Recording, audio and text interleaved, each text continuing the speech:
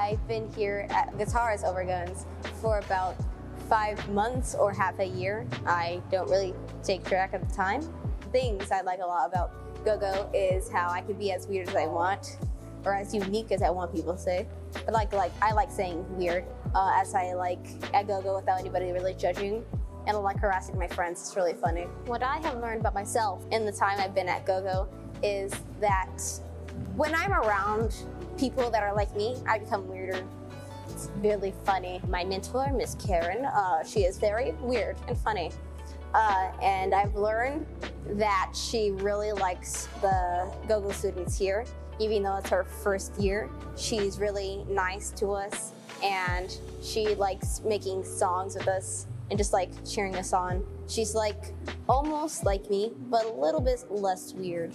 I was just so enthralled by her personality.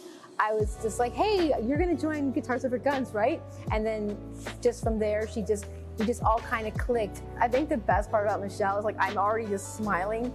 It's just she's just kind of glows. She's just so funny. She's will just start dancing. She'll try anything. Um, she's the person you just want to say, "Hey, Michelle, let's try this," and she'll always be like, "Okay."